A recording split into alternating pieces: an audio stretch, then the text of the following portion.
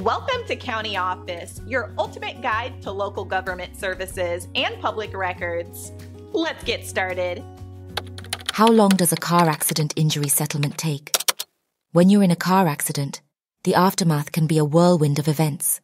Among insurance calls and car repairs, there's the injury settlement. It's like waiting for your birthday, but not as fun and with more paperwork. So how long does it take? First, let's talk evidence gathering. This is like the detective phase, where every detail matters. You'll collect medical records, police reports, and witness statements. This stage sets the pace, and it can be as quick as a cheetah or slow as a snail. Next up is negotiation. Think of this as haggling at a market, but with more at stake than a souvenir. Lawyers from both sides will chat, exchange numbers, and try to reach an agreement. This can be a game of ping pong with offers going back and forth. If things get sticky and a settlement isn't reached, then hello litigation. This is when you enter the courtroom drama. But don't fret.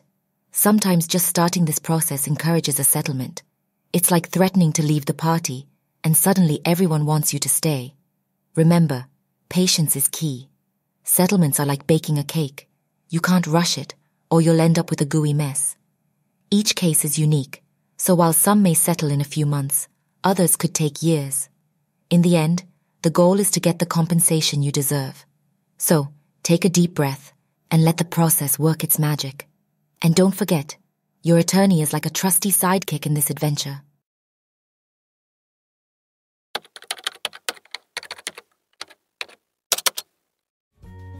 To learn more, check out these links, which you can click in the description below.